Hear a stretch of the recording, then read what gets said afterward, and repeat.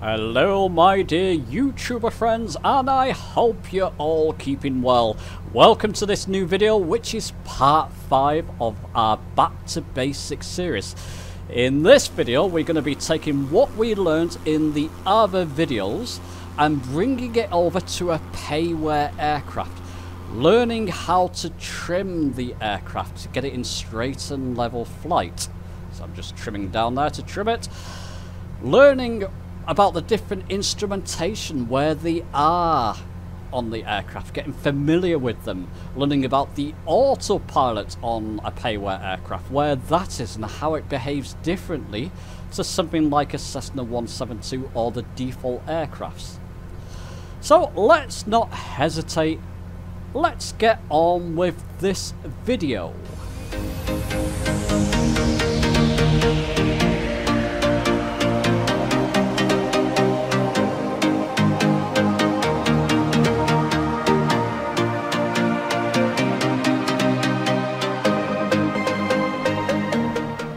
Okay, so amongst the first things you should be doing, I don't always follow this advice myself. When I buy an aircraft, I load it straight into a Flight Simulator, even take it up for a fly and sometimes crash and burn because I've not read the manual. At some point, at the beginning, go and look at the manual. This has things like introduction specifications of the aircraft and performance, which I'll come to later. You're probably saying, whoa, Huddison, whoa, I'm on Xbox. How do I go and look at a manual? Well, head over to your favourite search engine. I've got Google here. Do it on an old PC or laptop or your mobile phone, tablet or on your Xbox itself. In there, because we're looking at the Trinidad, I can type in MS FS uh, Trinidad manual. Yep, let's try that again. Manual. There you go. Press enter. And I'll just see on this search uh, results here, anything that says a downloadable manual is available below. That's handy on the first link, Lionheart Simulations homepage, in fact. If I click there, let it load in properly. Come on. Yep. There we go. And scroll down so that I can see where I can download a manual. Keep scrolling down. Lovely homepage, that, by the way. And then here, download the Pilot's Only Manual free here. So if I click that, this will pop open in a new tab and there's a manual. Works on other aircraft, pretty much any aircraft that you can buy on Flight Simulator that has a manual, keep that in mind, that's got a manual available. You can typically type it into a search engine and download it for free, whether you own the aircraft or not, so that's quite useful. Now within this manual, I've got another tab open. It's the flight operations part that I'm interested in learning, and this is the part that I'd recommend that you read at least, if anything, read the operations. Perhaps how to start the aircraft up if that's what you're interested in doing. And then takeoff. These are the parts I want to look at. Standard airspeeds, rotation. So when you rotate the aircraft, an initial climb, 68 knots and 75 knots. When safely airborne, retract the landing gear, which is pretty standard. At 300 feet or above, really, that should be, retract the flaps. So these are the parts I'm interested in. And then the next part I'll be interested in, in is actually coming down to the descent, the landing. So, flaps. Now, I, with the Trinidad, that I know there's two stage of flaps. So when it says flaps takeoff, that's flaps stage one essentially. And flaps landing is flaps stage 2 essentially. So flaps takeoffs, flaps stage 1 below 129 knots, knots it's safe to engage flaps 1. When you've done that, put your landing gear down. And things like mixture and propeller full rich full forward, that's fine. Short final, below 103 knots, flaps stage 2 and then you want to keep your airspeed at 73 knots or below for landing. So those are the things I'm looking for when I read a manual. I fully advise if you buy an aircraft and a manual is available, go and look at these things first. Okay, let's now jump into the simulator and go and fly this thing. Okay, so before we jump into the flight and aircraft itself, I just want to go over a couple of things that new players may find, ben may find beneficial. I've got a simple flight route set up from Gatwick Airport over to London City Airport with Heathrow as a waypoint. When you've bought and downloaded your payware aircraft, I've got a Cessna 172 chosen here for example, you've got to go and find it by clicking the aircraft symbol and then scroll up and down until you find your aircraft that you've just downloaded. In this case, it's a Trinidad, so I can click there. And what other what another thing that people may not be aware of is that a lot of payware aircraft come supplied and bundled with liveries. So you can click in the liveries there.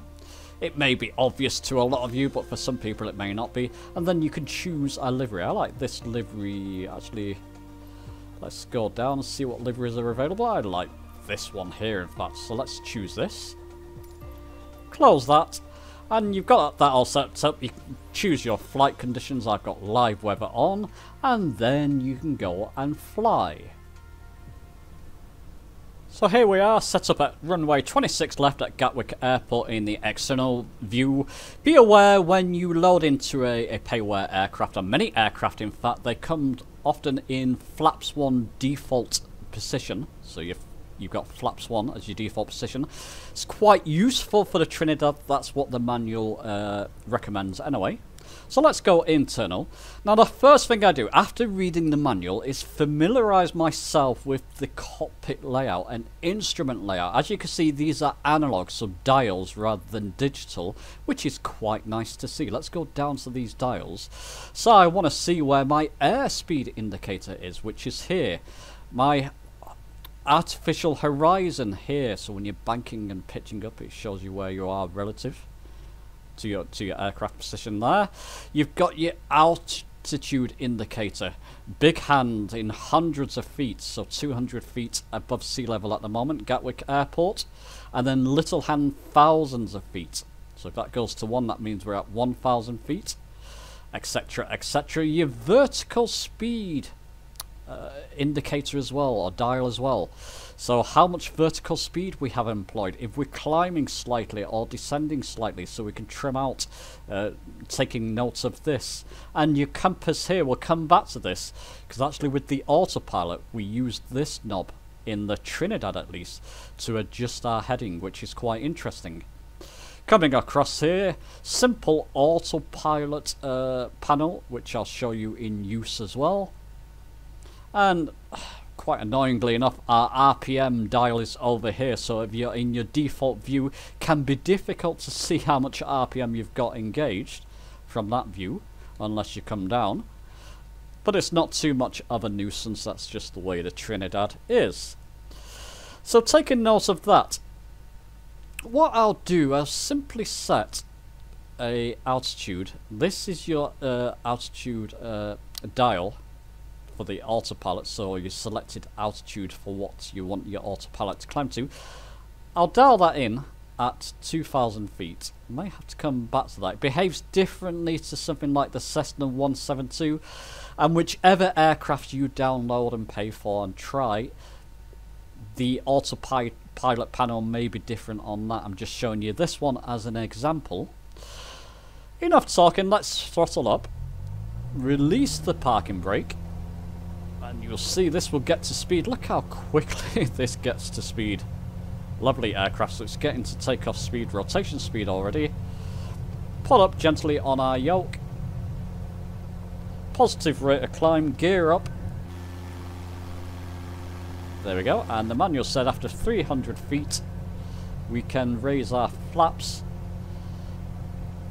Let's just get that into some kind of trimming position. So I can raise my flaps now. There we go. And trim up. So the first thing I do when trying out a new aircraft is see how the trim feels with it and start trimming the aircraft. Let's full, pull back our throttle a little bit because we're already going at towards 160 knots. So I'm using the trim wheel on the velocity one in this case. Yes, it's lovely. I'll stop saying that because people get quite frustrated with me saying how lovely the trim wheel is, but it is. And I'm just trimming to try and get that hand to the zero so I'm neither climbing nor descending. So this is what I recommend you do. Get used to the trimming of the aircraft, see how that feels. There we are, we're at pretty much straight on level flight there. And let's now try, let's just trim down a little bit more there. Let's now try our autopilot. So I'll click on autopilot and it's asking us here to put some vertical speed in if you want to climb to that 2000. So using the vertical speed nose up, I'll climb at 300 feet per minute. And as you can see, our altitude is increasing and it's climbing us to our 2000 feet which we set up before. But just click that vertical speed nose up. It won't change it, but we're climbing at 300 feet per minute. Let me just click that again to 400 feet. So you can see it behaves slightly differently to something like the Cessna 172. And in fact, on that note, if I click on heading mode, now the heading mode, by default it's on north 360 or 0 degrees. If I click on that, the aircraft's going to turn to the right here. So let's click on heading mode. That's where our heading bug is currently. And there you go. And to change the heading in the Trinidad, it may be different depending on what aircraft you bought. But I can move this knob, mouse down on this knob, because I want to come back.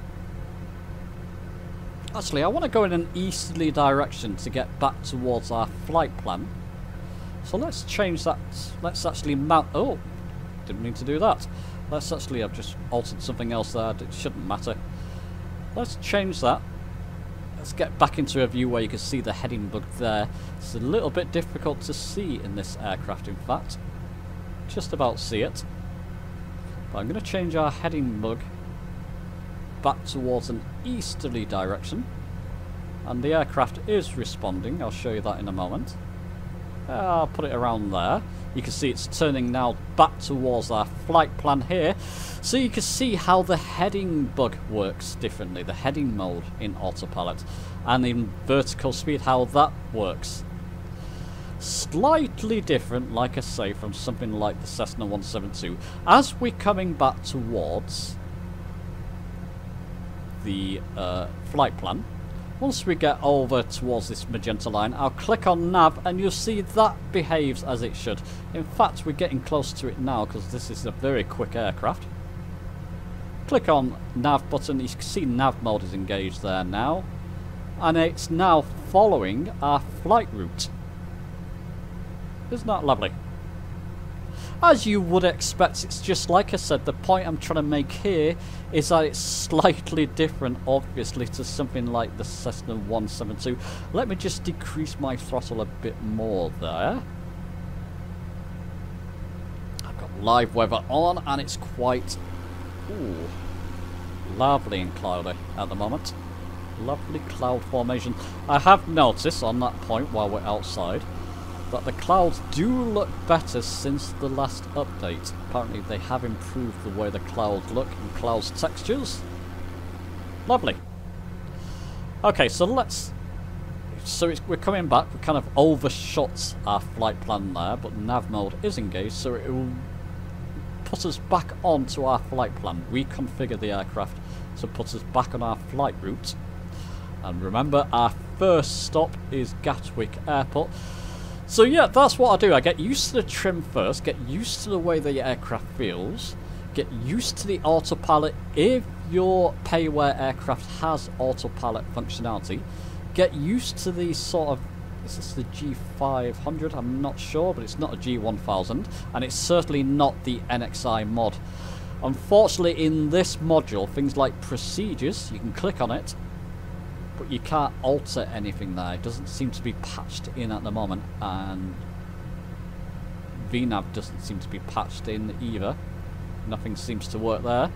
Your flight plan shows, message box shows, OBS doesn't work unfortunately either, and CDI doesn't work. I won't do that because we're in GPS mode at the moment.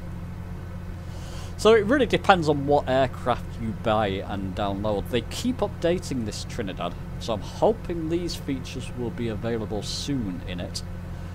But certainly the map panning works, so we can pan out to see how far, and it tells us the distance to our next waypoint, in fact, here. 15.4 miles at the moment. So zoom out. And then from there, it will tell us the distance to London City Airport. So different. I quite like that. Different, but still functional in many aspects. I want to bring my uh, altitude down there to 1500 feet. So I'm going to click, according to the manual, we need to click the Alt button and then select how much feet per, per minute we want to descend at. So 300 feet per minute to 1500 feet altitude, which it's doing now. As you can see, it's slowly descending us.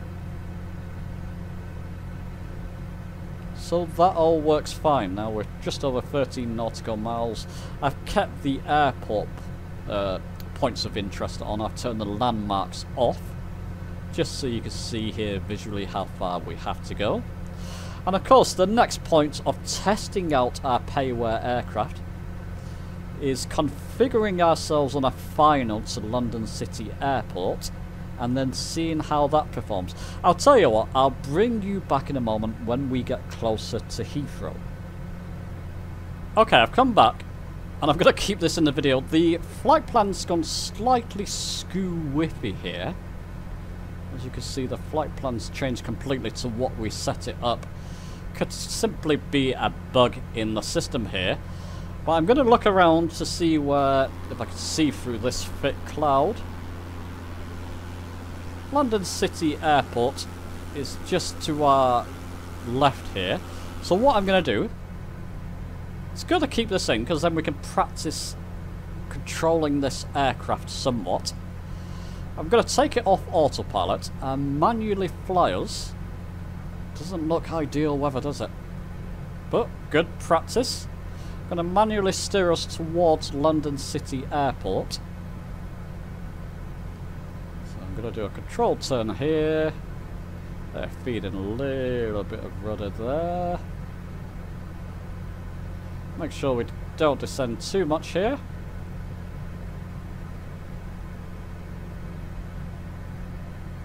Let's just control that. So it's really, once again, getting the feel of the aircraft. I've actually turned a little bit too much there. So I'm going to have to trim that down, compensate for the climb there.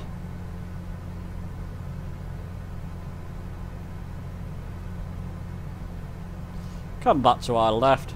It's all good practice here. I could have uh, restarted this video because it went slightly skew-whiffy. I'm not sure what went on there. Didn't do that to me last time, never mind.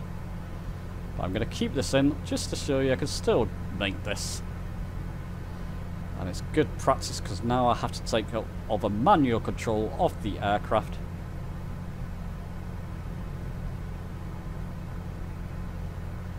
And I'm going to bring that throttle back. Want to get it, according to the manual, below that 120 mark. Now, whilst I'm doing that, I'm going to start trimming it up as well. And that will help us to reduce our throttle. Or speed, rather.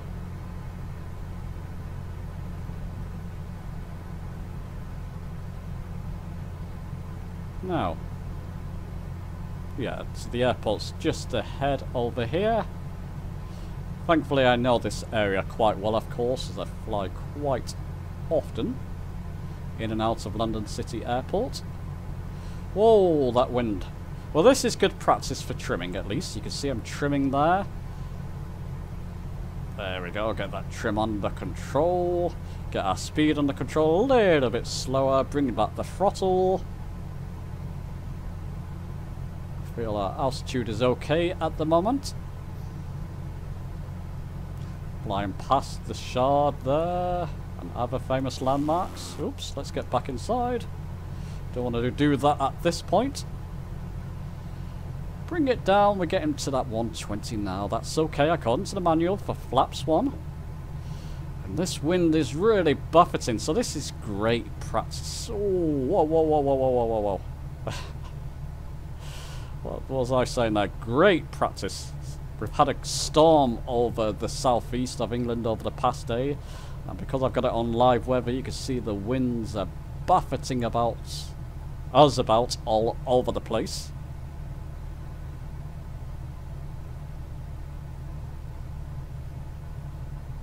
Let's control that. We can actually bring the landing gear down as well now. Again, following the procedures from the manual. Don't take it back up, Huddison.